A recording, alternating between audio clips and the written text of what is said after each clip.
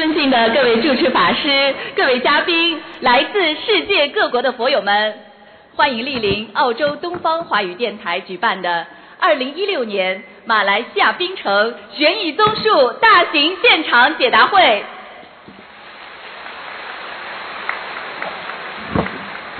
卢军宏台长太平绅士作为世界和平大使、世界一千万华人心灵导师，二十年如一日弘扬人间大乘佛法，广度天下有缘众生。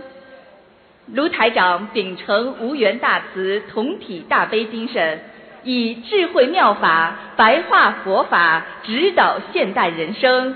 慈悲度化一千万人走入佛门，破迷开悟，改变命运，创造无数人间奇迹，令众生消灾离苦，社会和谐，世界和平。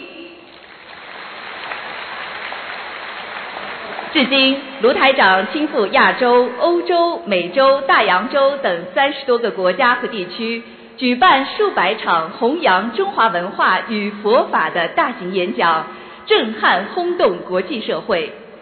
近年来，卢台长致力于推动世界和平，屡获国际殊荣。二零一二年，英国伦敦世界宗教联合大会授予卢军宏台长世界和平奖及世界和平大使殊荣。卢台长也应邀登上哈佛大学讲堂。并在英国国会上议院获得颁发英联邦民族社区特别贡献奖。卢台长还获得意大利名校锡耶纳大学荣誉客座教授、马来西亚拿督终身荣誉爵位、澳大利亚太平绅士荣誉，并在联合国、美国国会、德国柏林、美国宽容博物馆等地举办的世界和平会议上。多次获得世界和平奖项，卢台长还作为特邀嘉宾，与高僧大德、佛教领袖一同出席2015年联合国卫赛节庆典。应联合国大会主席邀请，在联合国总部出席2015年联合国大会和平文化高峰论坛，使佛法精髓与和平理念走向世界。近年来，心灵法门在马来西亚生根开花，广利众生。时隔一年，卢台长心系马来西亚佛友，再次来到马来西亚，感恩观世音菩萨慈悲成全殊胜因缘，感恩卢军宏台长慈悲无畏普度有缘，也特别感恩来自世界各地的法师们、佛友们、义工们，感恩大家。现在，让我们用最热烈的掌声，恭请尊敬的卢军宏台长。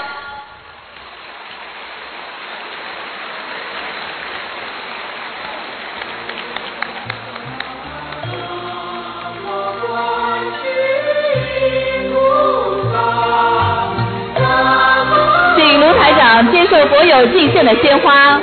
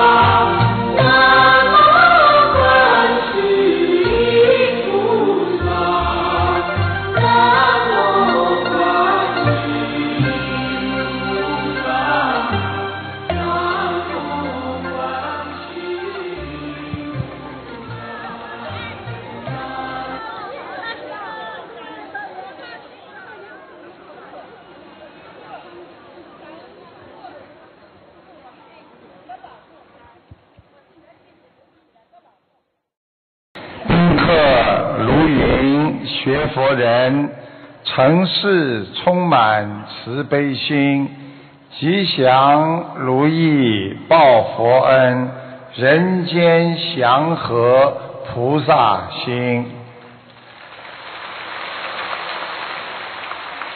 感恩大慈大悲救苦救难观世音菩萨，感恩龙天护法各位法师嘉宾和全世界的佛友义工们，和马来西亚和槟城的父老乡亲们，大家下午好。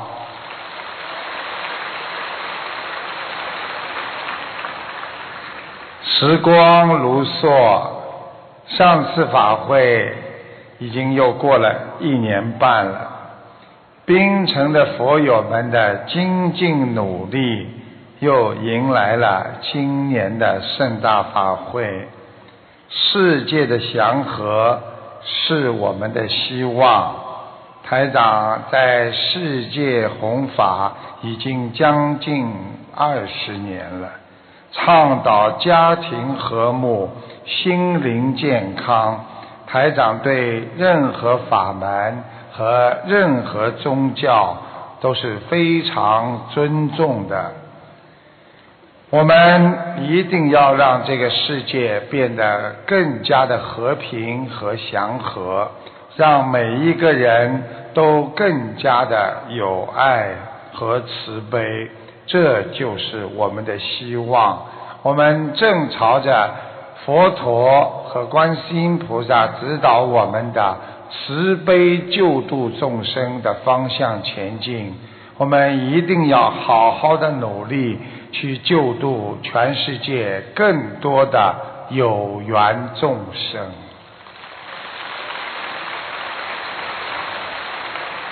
但这个世界又有多少人每天失去希望？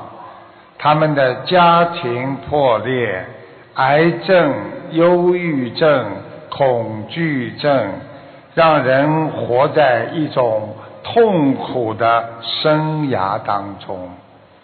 在这个世界上，有十七万人死亡。啊，每一天啊，有十七万人，将近二十万人死亡。每年因忧郁症自杀的人有一百万。这些人间的疾病，每天困扰着我们，很难医治的心灵创伤。我们只有想通，只有想明白，才能自救。想通想明白，就要学佛，因为佛法能让我们开悟，菩萨能让我们跳出苦海。菩萨告诉我们：如果你自己不给自己烦恼，别人永远不能给你带来烦恼。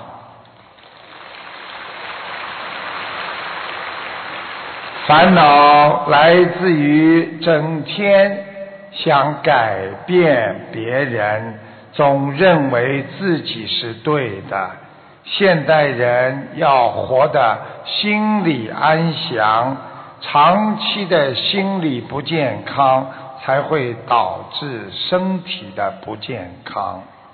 在四月二十号，马来西亚槟城一名。十八岁的华裔女中学生患上忧郁症之后，母亲去洗澡，对女儿说：“孩子，你帮我把衣服叠一下，叠叠好。”女儿表情非常的沮丧。洗完澡，母亲出来不见了女儿，到处寻找。往露台下看，发现女儿跳楼，已经死在了停车场。人间的寿命短暂，所以我们才要珍惜！不想伤害自己，就要学会认识自己的个性，要降服自己的缺点，要学会改变自己，学会包容别人。每一天要多感恩，要感恩才能知足。所以台长跟大家讲，每天早上吃一颗药，那叫感恩；到了晚上睡觉之前再吃一颗药，那叫知足。你就会长长的快乐了。平安每一天就是福气。多少人在今天已经见不到明天的太阳？有多少人在今天已得了癌症？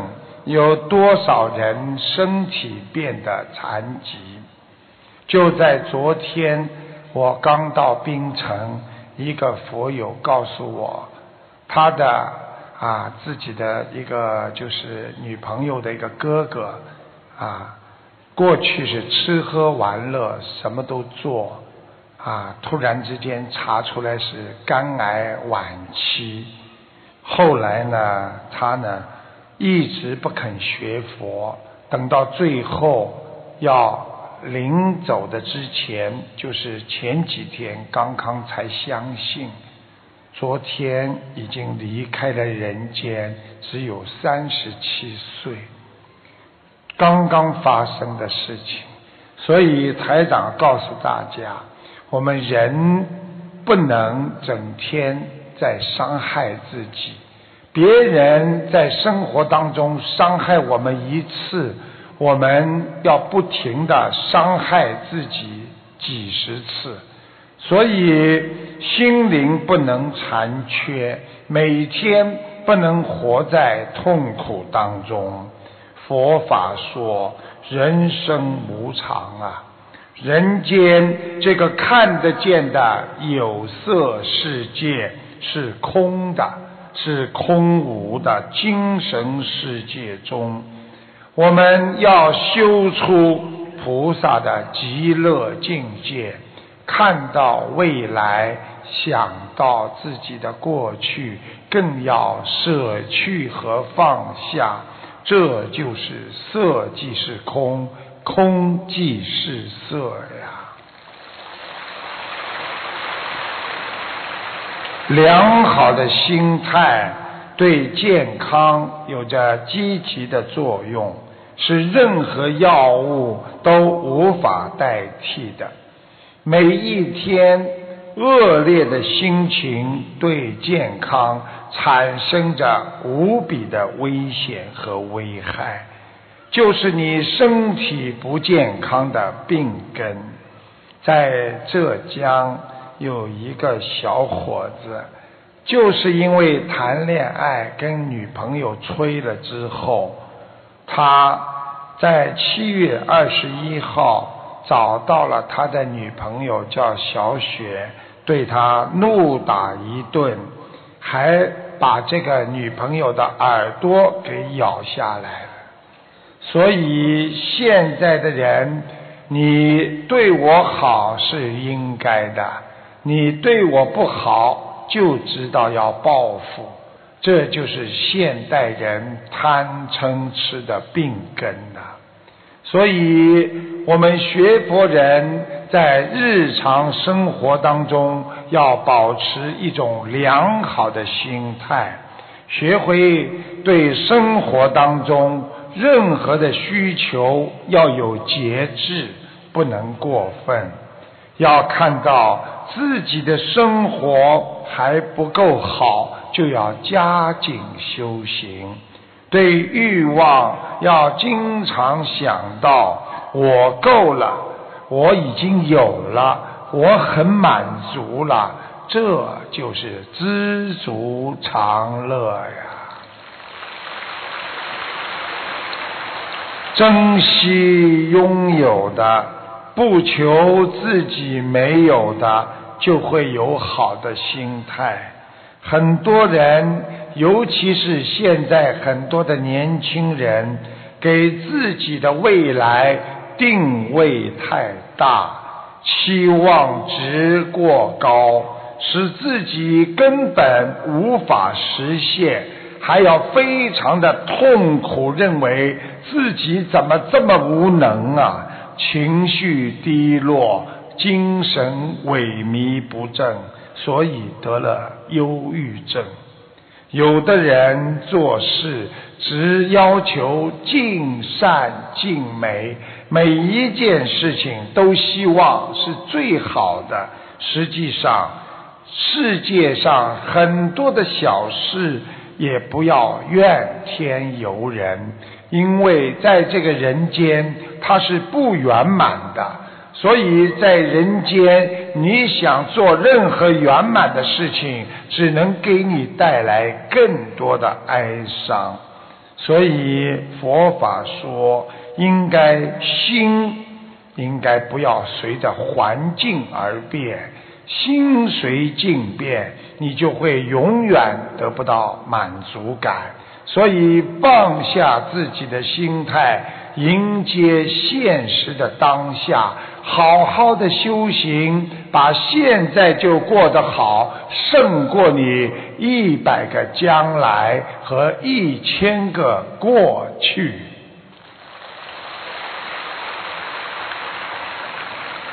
有一个年轻人去请教禅师，问他如何做人。这个禅师说：“你看看我。”再看看你自己，就知道怎么做人了。这个年轻人说：“师傅，我怎么看您呢？”禅师说：“你看我有几个脑袋，几个眼睛，我的耳朵、鼻子、嘴巴，我有几个手、几条腿啊？”年轻人说：“师傅啊，每个正常人只有一个脑袋。”两个眼睛，两个耳朵，一个鼻子，一张嘴和一双手，还有一双腿。禅师说：“你知道他们是用来干什么的吗？”青年人说道：“呃，脑袋主要用来是思考的，眼睛主要用来是看的。”耳朵是用听，鼻子要呼吸，嘴巴主要是吃饭和说话，手要拿东西，脚是用来走路的。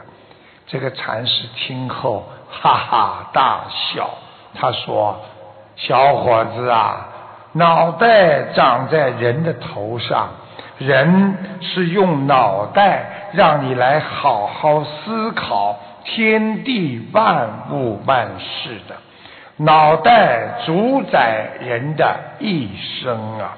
人只有一个脑袋，所以必须凡事要三思而后行啊！人就是没有思考自己的因，所以才会接受果报。谨言慎行，才能把握美好的人生啊！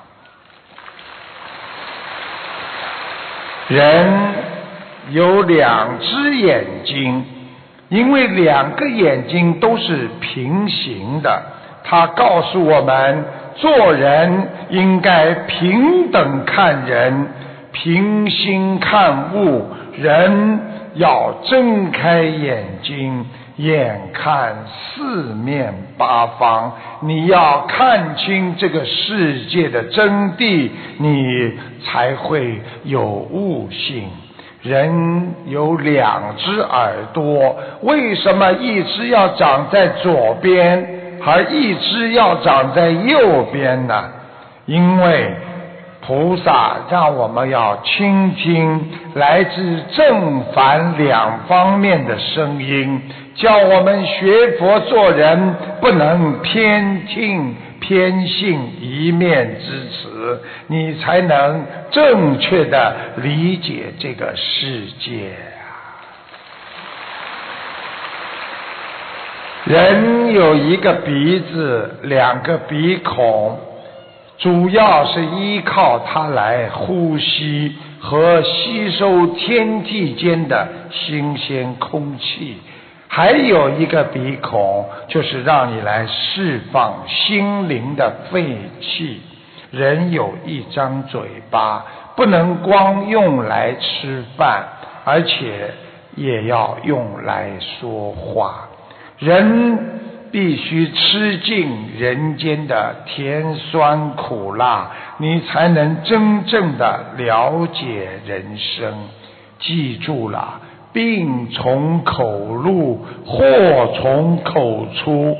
他告诉我们，说话要谨慎，做人要稳重，你才能在人间四平八稳呐。人有两只手，一只手用来劳动创造。还有一只手是要你把握好你已经拥有的财富，不要让它丢失。人要把握好机遇，抓住时光，珍惜一切，你才能拥有美好的人生。人有两条腿，人不仅要走。前人走过的路，我们更要重新开创自己的人生之路。一个腿往前，一个腿在后面跟上，这就是永远走路要一前一后，而不是两个腿平着走，那就叫跳。所以要跟着前人走，自己后脚要努力，这样才能达到你人生的最高境界。这个青年非常的心情舒畅，大师，你这番教诲使我茅塞顿开呀！接下来台长告诉你们，我们。任何人只能看见我们的外表，看不见我们的内脏。我更要告诉大家，每一个人只有一个心脏，但是他有两个心房，左心房和右心房，也就是时时刻刻提醒我们。凡事不要为自己着想，也要为别人着想，你才能心想事成啊！每个人都有两片肺叶，他告诉我们在世界上要广泛的与人交心通气。你才能心平气和，随心如愿。每一个人有一个胃，他既要吸收美好的东西，也要消化排泄不良的东西，他才能茁壮成长。每一个人都有弯弯曲曲的肠子。它启示我们的人生的路，那是曲折不平的。凡事不要怕挫折，我们要一门精进，好好的学佛，才能到达佛的彼岸呐。每个人的内脏还有很多重要的组成部分。实际上，它是我们生命中不可缺少的东西。它告诉我们，生命中的每个人都是我们的贵人。台长曾经说过，应该懂得什么叫贵人。贵人就是你珍惜身边所有的人，你就会得到所有人的尊敬和爱护帮助，你就拥有了这个世界上所有的贵人了。世界奥运的跨栏冠军刘翔。他的贵人是他的师傅教练，叫孙海平。上海市政府在刘翔夺冠之后，奖励他三室二厅的装修房。刘翔非常的善良，他感恩心很重，他就将房子送给了孙海平教练。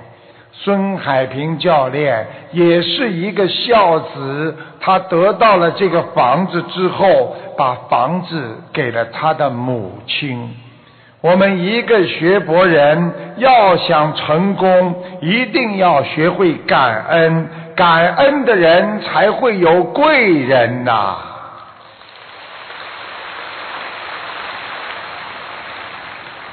学会放下。我们每个人来到这个世界，实际上都是孑然一身啊！我们什么东西都没有带到这个世界上，为什么很多人一辈子要带这么东西？想到哪里去带得走吗？除了父母亲给予我们的肉身，我们一无所有。就是这么一个肉身，等到我们离开这个世界的时候，也是生不带来，死不带去啊！人生在世间何其短暂，数十年眨眼即过。对于大千世界来说，我们人只是匆匆的过路客，不懂得放下。你会影响你的健康和身体。要想活得长久，只能是空幻之想。放下就是解脱。有一个人挑着担子，前面是花瓶，珍贵的，后面也是花瓶。一边走路，突然之间，一个花瓶掉下来碎了。他看也不看，继续往前走。别人叫住他：“哎哎，你的花瓶碎了，你的花瓶碎了。”他一边挑着担往前走，一边跟他说：“碎了也就没有了，没有了就又不能弥合。我继续走我的路。所以我们要把过去做错的事情。”过去的压力，所有一切都要放弃，这就叫过去了。所以过去不可得，未来不可得，现在也会过去，那也不可得。《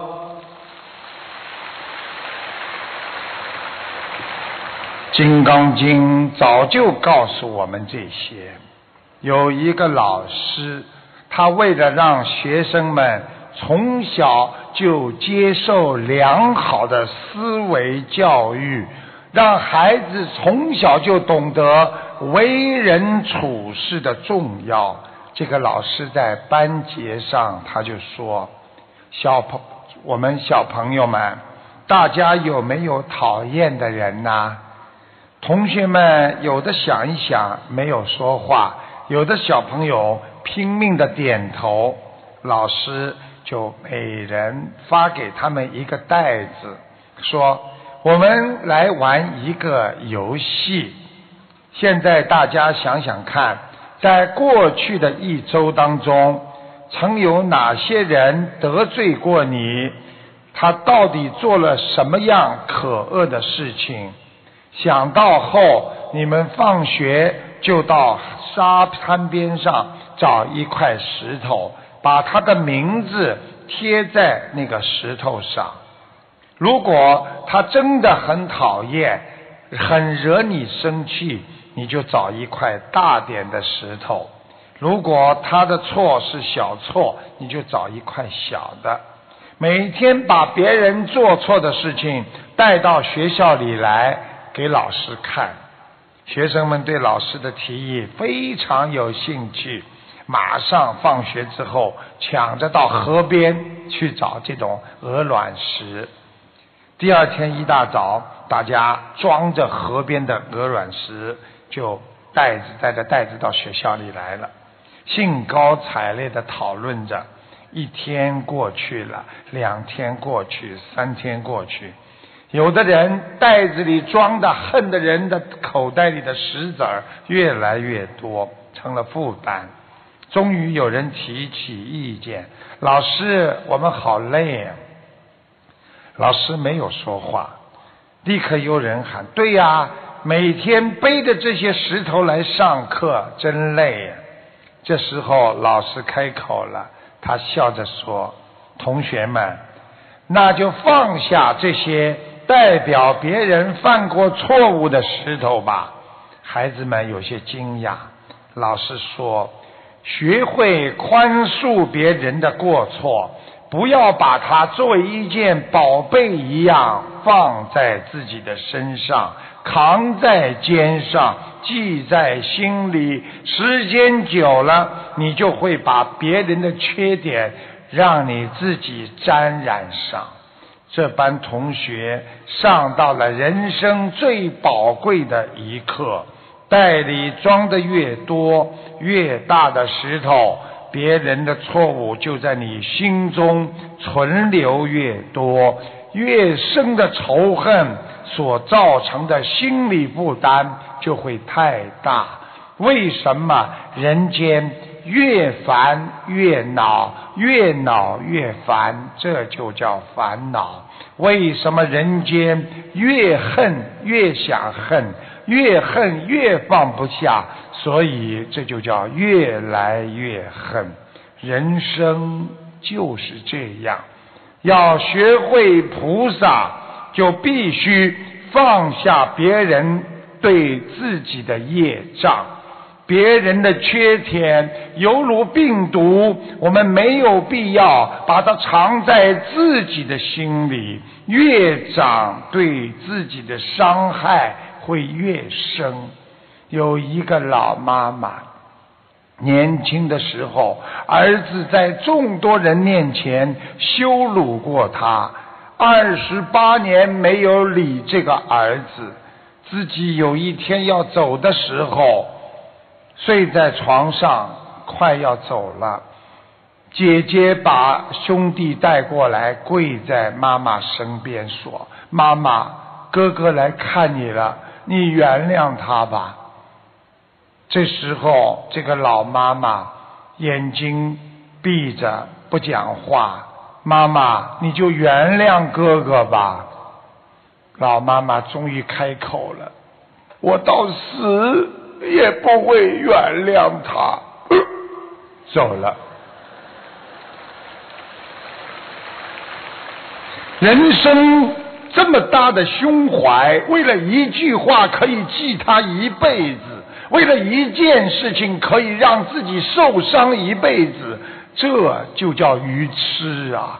希望我们放下过去别人对我们的伤害，好好的慈悲对别人，那你的心胸将像菩萨一样的宽广和伟大呀！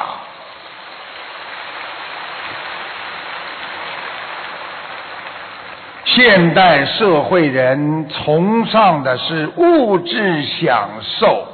却忽略了精神上的充实，所以带来了太多的心灵扭曲啊！认为大家都是这么做，在迷茫，大家都在挥霍浪费，我也应该这么做。其实给自己带来更多的空虚和痛苦啊！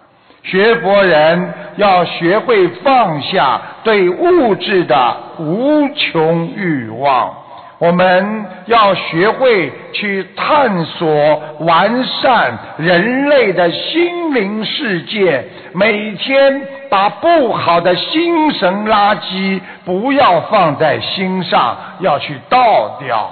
不要把别人对自己的伤害，把自己做错的事情牢牢的放在心上，念念礼佛大忏悔文，好好的忏悔自己对不起的人，好好的能够学菩萨宽容，感恩、知足，你才能在人间得到真正的快乐和幸福啊！台长在节目当中经常呢，就是回答大家问题。啊，有一天呢，台长就是呃上上两个礼拜吧，台长看到一个听众血液不好，血小板减少，经常头晕，他掉过孩子，关节还会响。台长还指出他的业障很多，啊，他呢都说是对的。下面请大家听一下这个录音，谢谢大家。刘科长你好，你好，我想看一下那个啊，我是七六年属龙的。哦，你要当心啊，你的血液不好啊，你的血小板减少，经常头会晕的。哦，太对了，我头好痛哦，经常。啊，你有掉过孩子。对对对对，我现在头晕什么是不是也是他？就是都是他，都是他本来呢一直在你身上，让你这个地方不舒服，那地方。对对对对，一直一直。一念之后呢，他知道你开始还他债了嘛，他就不是一天到晚在你身上，他一离开你呢，你马上舒服了，明白了吧？是是是。嗯。那我再问一下，那我我我现在应该注意什么呢？应该。注意腰腰不好。嗯腰不好啊，腿关节，对我关节一向是不好的，夸嗒夸嗒响的。对对对，那请问一下，我身上业业障比较多是吧？坏事以前是不是做的挺多的？对对对，你就是结婚哦，真的，朋友谈的太多了，嗯。啊？什么？结婚之前朋友谈的太多了，是你叫我讲的响的。啊，对对对，没关系，我反正 就是为了好好反省。你好好的反省了，过去就过去过去就是说自己不检点呐，所以有时候就会遗留下很多的业障。现在赶快把它念掉，不念掉不行的。行行行，谢谢您，刘台长。谢谢，是他叫我讲的响了。我呢，告诉大家，如果你不来人间呐，你。不知道人生之苦的，所以如如果不去生活，你哪来的知道拥有和失去啊？所以我们要好好的珍惜，珍惜就是失去带来痛苦的最好的良药。所以我们不想承受失去的痛苦，就应该不要太去贪。太去得，因为得到的最后结果就是失去。所以昨天晚上我也讲，人生最重要的是接受有，承事无，承受无。所以既然有了，我们就好好的随缘；既然没有了，我们也要能够承受。因为我们来这个世界，我们从来没有拥有过，最后走的时候，我们也从来没有失去过。因为空空的来，空空的走，这就叫空即是色呀。如果你认为你拥有了，一切的物质思维，而一旦没有了，你就会去承受失去的痛苦。有一位家庭主妇，她去聘用一个女佣人，她下个星期一就正式到她家去上班了。这个女佣呢，她来之前，雇主呢就打了个电话。给了他过去的一个雇主问一问这个女佣人的品德各方面，得到的回答呢是告诉他好的少，缺点很多。女佣到家的第一天，这位主妇对他说：“啊，前几天我给你家里的啊过去你的雇你的那个啊先生打了个电话，他说你。”诚实可靠，菜做得很好，也非常讨孩子们的喜欢。唯一的缺点就是对整理家务不太在行，屋里总是脏兮兮的。不过他的话我不相信，因为我从你的穿着打扮上可以看出你是一个很爱干净的人。你一定能够把我家里打扫得干干净净，我相信你一定做得到。女佣听了他的话，很感动，非常认真的干活，细致，也非常的勤奋，把家里收拾的一尘不染。他们一直相处的很好，非常的愉快。这个故事告诉我们，我们学佛人要口吐莲花，善言会让别人精进，恶言会让别人懈怠。想让自己欢喜，就要让众生欢喜；想让自己幸福，就要让众生幸福。想解决人间的烦恼，用的是慈悲。想脱离人间苦难，用的是佛法的智慧。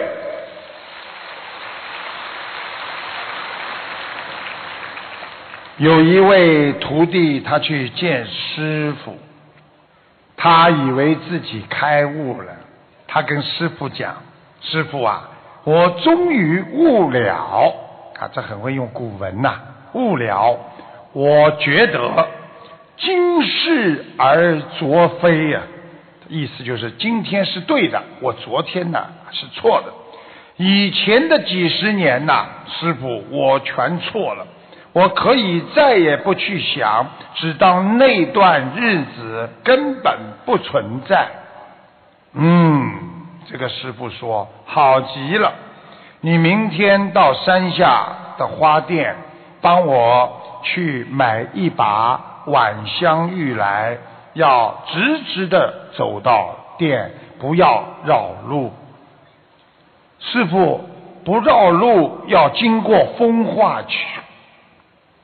你去买花就是了，什么都不要想。花买回来了，一到晚上，馨香就四面泛溢，整个屋子都是很香。这个时候，师傅说：“是照我嘱咐的到那家花店吗？”这个弟子说：“是的。”经过风化区了吗？经过了两次。嗯，你不是去买花的，你为什么到风化区啊？嗯，师傅，呃，这个店如果不经过风化区，就买不到花呀。弟子急忙的解释：“那种脏的地方，花还会香吗？香香香，师傅，你没闻到吗？比刚才还要香呢。”师傅说：“这就对了，你不经过以前那段肮脏的人间日子，哪里来令你今天呐？”甚至可以说，你没有迷失的痛苦，哪会找到佛法的欢喜呀？过去虽然过去了，但是那段时间你不能不承认它的存在。只是今天你已经出于污泥，已经修成一朵莲花了，师傅。露出慈悲，继续说：“觉今是而昨非。”意思就是说我觉悟今天啊，而昨天说自己不是。虽然是开悟，却不是大悟。大悟就是无所谓昨非呀，就是无所谓昨天的对和错。但今世里有昨非呀，就是今天我们的对，我们找到了佛法，是因为过去的迷惑颠倒，我们才让今天找到了佛法。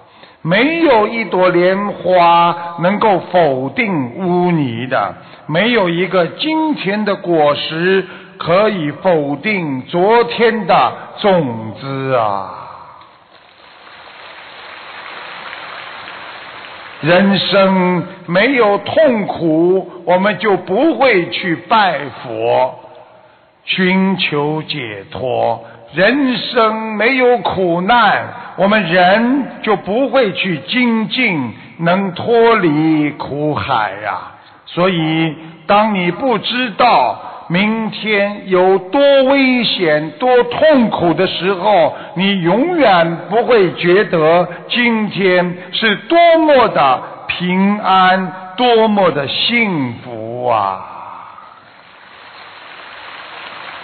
当你不珍惜夫妻感情的时候，你永远不会觉得终有一天会离婚。当你每天抽烟喝酒的时候，你永远不会觉得你终有一天会得到肝癌和肺癌。当你每天在做恶事、杀生恶口时，你不会觉得终有一天会现世报。当你在受苦受难的时候，你要坚持天天做好事。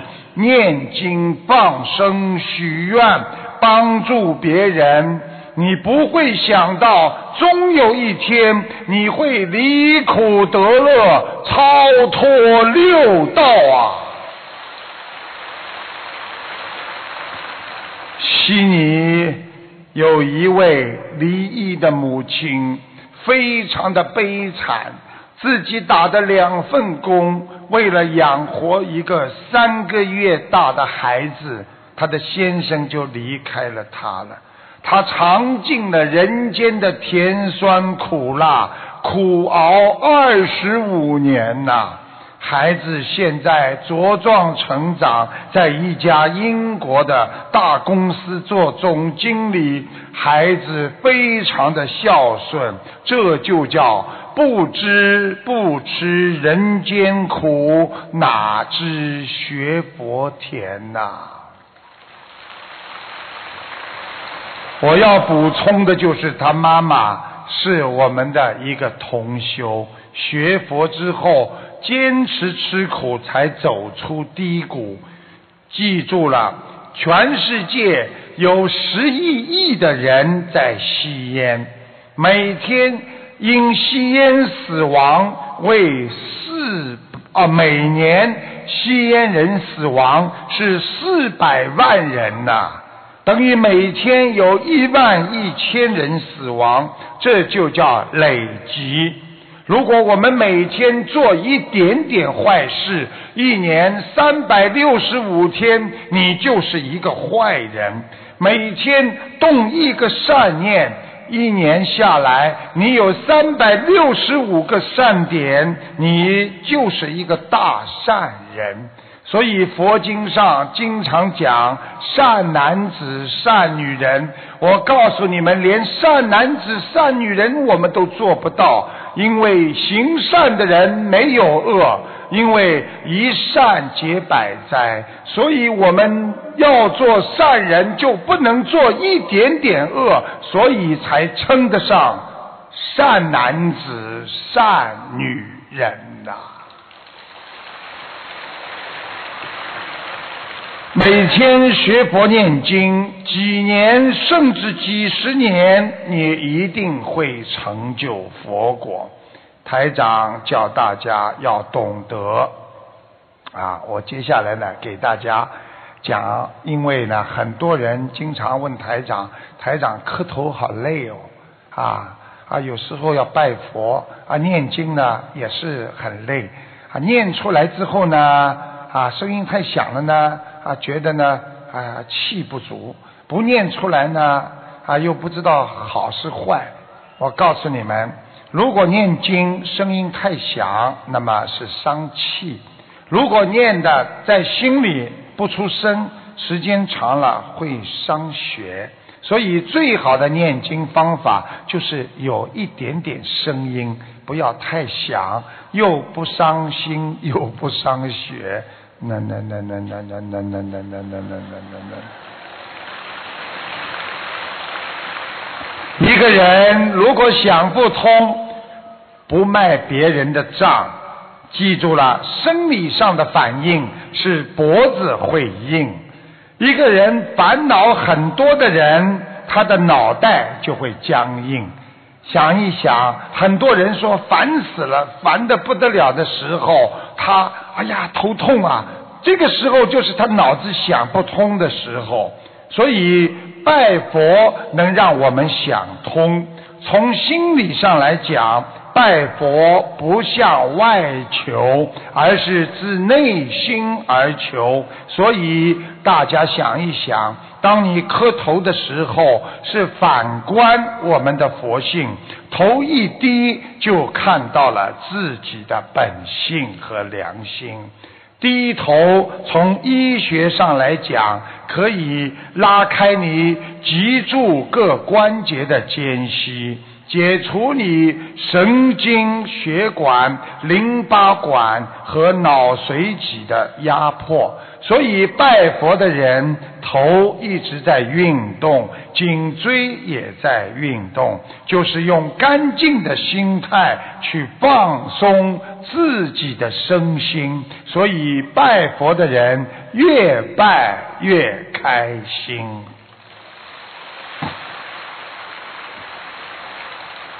告诉大家为什么要合掌？一个人合掌就是成为我们十指连心，心心相印。这时候打通你整个的小周天、大周天，你的心就是你的手指。当你合掌的时候，一个人肩膀就会放松。想一想，是不是这样？肩膀一放松，你就放下烦恼。人一烦恼，一发愁，你的肩膀就会拱起来。想一想，是不是这样啊？是这个事啊，来了吧？哎呦，哎呦，这苦哦！肩膀是不是拱起来了？一合掌，肩膀会放松啊，然后通经络。放下的同时，妄念也慢慢的放松。所以，放松的人啊，并不是完全的拜佛，因为拜别人又是拜自己。所以，拜别人是佛，拜你自己也是一位未来佛。台长有一个。啊，听众反馈，他啊在那个打进电话来，他女儿本来是子宫肌瘤，医生要他动手术息肉，啊，结果呢念了四十九张小房子，居然这个肌瘤啊和息肉都不见了，而且他女儿想要个孩子，台长告诉他八九月份会有机会，真的在八月份就检查出自己怀孕了，给大家听一下录音，谢谢大家。哎，师傅您好！你好，感恩观世音菩萨，感恩师傅。我呃这次打电话，我真的特别的感恩。呃，上次您说我的女儿八九月份可能会怀孕，这次真的八月份我们查了一下，真的怀孕了。感恩观世音菩萨，感恩师傅。呃，灵的不得了。我特别的激动，特别的不知道说什么了。嗯。就第一次吧，我们打进电话来的时候吧，是因为子宫肌瘤，呃，有小息肉。后来呢，大夫呢就让我的女儿呢做手术。后来呢，我们打通师傅的电话了，师傅呢就说呢，让他念经念四十九张小房子。后来他就是按照去做了。嗯，你看。就念完了以后呢，我们就去查了。就是子宫肌瘤不见了，肌肉也没有了，我们 真的特别的激动，特别的感恩。嗯。后来呢，师傅说他的那个妇科呢没有大毛病了。嗯。他呢很想就是想要有一孩子，后来八九月您就说呢，他八九月份可能就会怀上了。后来呢，我们八月份的时候，她真的感觉可能怀孕了，她就查了一下，真的怀孕了。感恩观世音菩萨，感恩师傅。谢谢。在生活中，我们每个人都在扮演不同的角色，在编织自己的梦想。学佛人就是懂得把握自己的命运，要找到自己适合的位置。在汉文帝的时候，有一个陈平是左丞相，他有一次。汉文帝皇帝问他：“丞相，全国每年收粮食是多少啊？”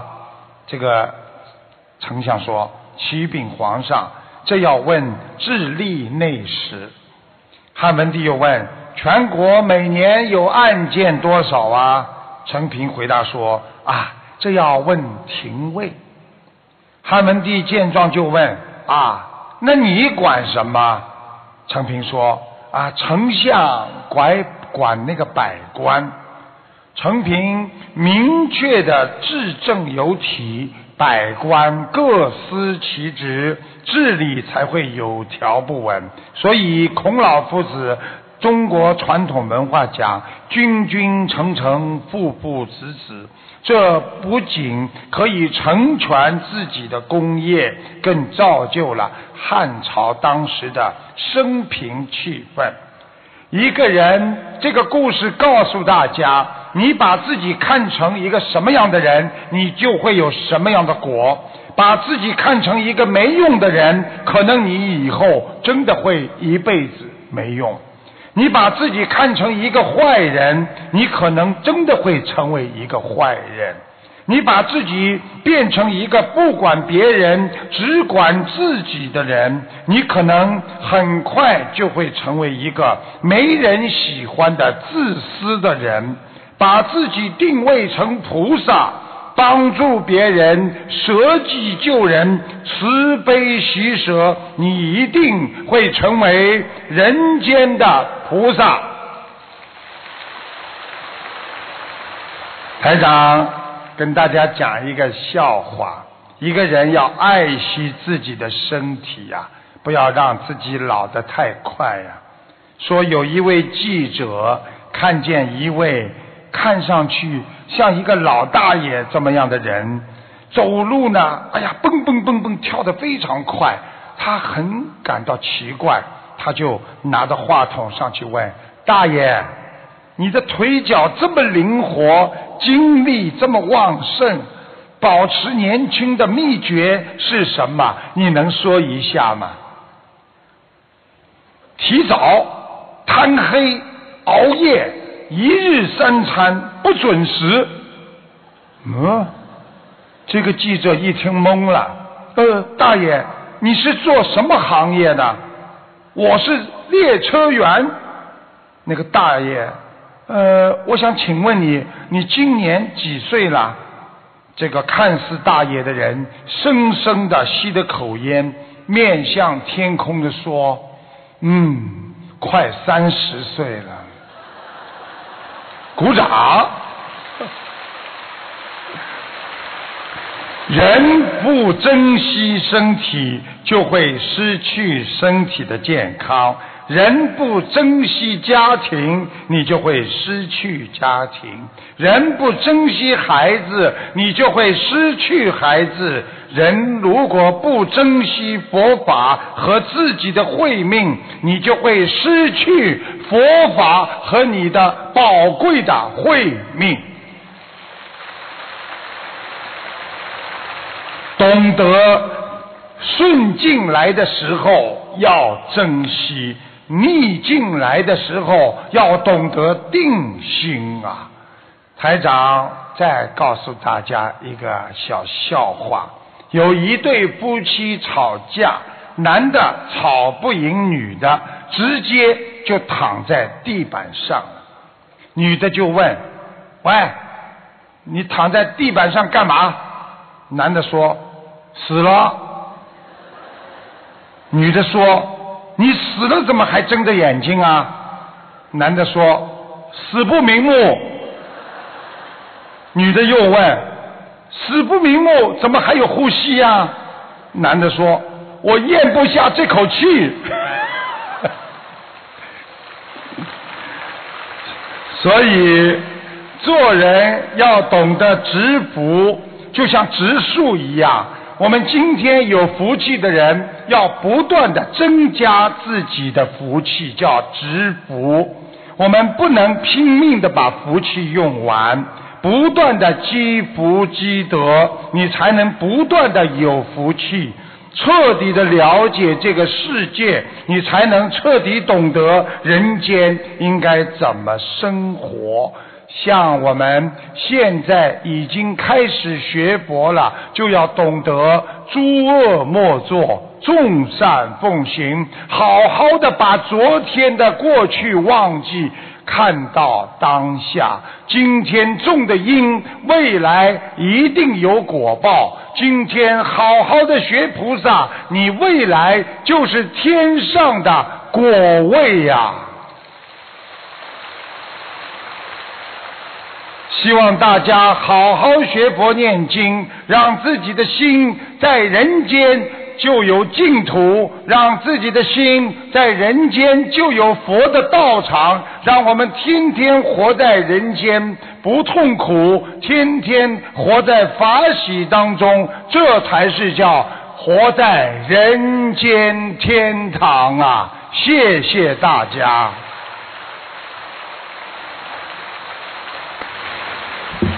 让我们再次用最热烈的掌声，感恩卢军红台长为我们带来的精彩开示。